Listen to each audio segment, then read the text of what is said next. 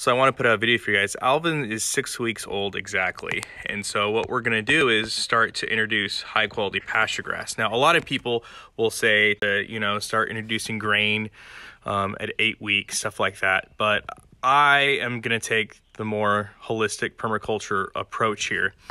And as you can see, I just got some grass clippings from my electric mower, right? I just clipped some grass because this is what he's gonna be eating when he's weaned. And he's already going to town on it. He's already excited and ready. And what this is gonna do is get that rumen nice and strong and built up. And as you can see, Daniel, Jack and Daniel there helping him out, but it's six weeks and he's ready. So this is day one and he's doing exactly what I expected him to do. He's very curious and uh, he's starting to you know, eat it, chew it up, and that's like I said, that's going to get his rumen mature. That's going to get a good culture in his system, and that's what we need because, like I said, he's not going to be a grain cow. He's going to be fed 100% exclusively on pasture. So this is a way to get him developed and getting ready to go. So for those of you guys wondering out there, when should I start to introduce pasture grass to my to my cow?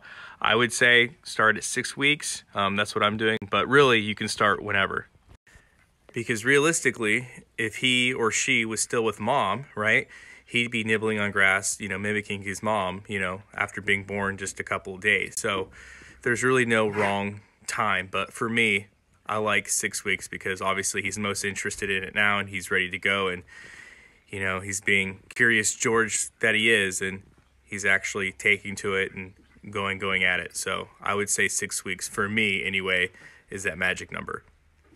As you can see, Alvin's doing well. So yeah, we'll give him free hay, free pasture grass here on out and slowly we'll start to wean him from the milk to the pasture grass. And hopefully by the time he's two months two and a half months old he'll be pretty much fully sustainable on pasture grass. I don't see why in three months we can't have him completely off milk and on open pasture. So that is our goal to shoot for. As you can see, he's been growing well. He's growing like a weed. He's strong, he's healthy, and he's doing everything he's supposed to be doing. So we're super happy with him. And then here is Simon. Simon's doing good. He's interested in it. He's a week, about a week, week and a half younger than Alvin, but he's still you know, nibbling on the hay and he's still excited about it. So that's good. He's obviously not going at it as much as Simon is, but for how young he is and already being interested in pasture, being at a month old, um, I say that's pretty good. So he's definitely he's definitely interested in it. So that's good. So we'll give them both free free pasture from here on out and we will slowly start to wean them off the milk replacer. So again, this is no 100% mark science here, okay? A lot of people are going to tell you a lot of different things. There are some people that say that there's no way cows will eat pasture this young, but yet here they are. So it's really important for you to know your cow, spend time with them. We spend time with them every single day. Obviously, we have to feed them twice a day. So I have a pretty good feel on what they're into. and so I knew today was the day to start and I think I made a good decision here. So we'll keep watching them, but ultimately, you know your cows better than anybody, so you got you have to do what's you know in their best interest. So as you can see, like I said, Simon, he's six weeks old and he's taken to it great.